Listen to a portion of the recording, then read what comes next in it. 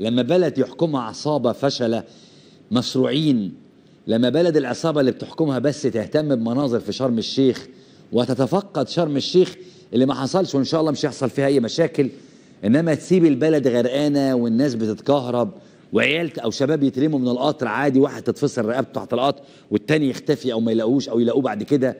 لما بلد ماشية كده عادي جدا. الخلاصة إن الفاشل ده لازم يمشي.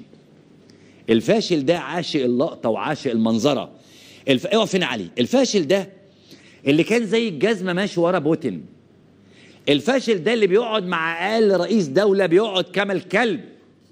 بس يجي مصر يعمل فيها رئيس والنضارة وياخد حاجات و... ويمشي كده يترسم.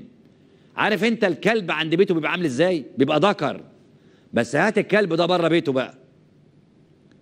هو ده الفرق. الفرق ان الفاشل ده كان قاعد جنب بوتين وماشي عامل كده زي البنت البكر. بس عندنا إحنا أو قدامكم أنتوا يقعد بقى ويتجعس ويعمل نفسه زعيم.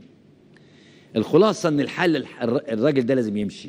ارحل يا فاشل الهاشتاج ده عاد للتصدر بعد فشل السيسي في مواجهة الأزمات. ده الهاشتاج أهو ارحل يا فاشل يعود للتصدر بعد فشل عبد الفتاح حسين خليل السيسي في مواجهة الأزمات. ده اللي عملوه الشباب على أو الناس المصريين العاديين اللي عملوه على ال social media واللي كتبوا تحت يدعو بوتين لتدشين محطة الضبعة.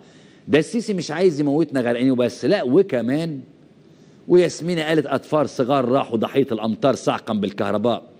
وحساب الثورة تجمعنا قال عشان اللي مش لاقيين ياكلوا متشردين في شوارع مصر زادوا مليون في ثلاث سنين بس يا فاشل.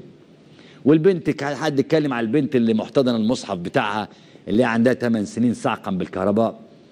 ارحل يا فاشل فشلت داخليا.